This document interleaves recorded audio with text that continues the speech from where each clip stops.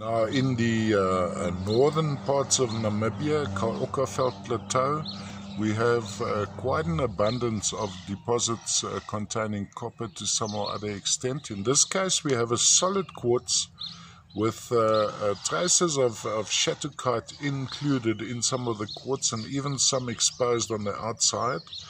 Typical other associations from here, I'd, I'd expect to find duhamelite. I don't see any yellowishness now. If I mention duhamelite, it'll be tiny sprays of yellow needles, um, which uh, uh, uh, closely resemble um, rutile. Um, this specimen has been sawn on the back, so from a display point of view, displayed all the way around like this. Uh, very difficult to work with this material without sawing because quartz fractures as it pleases. So the main point of display for me would be this particular section where you have that quartz crystal and of course under magnification quite fascinating.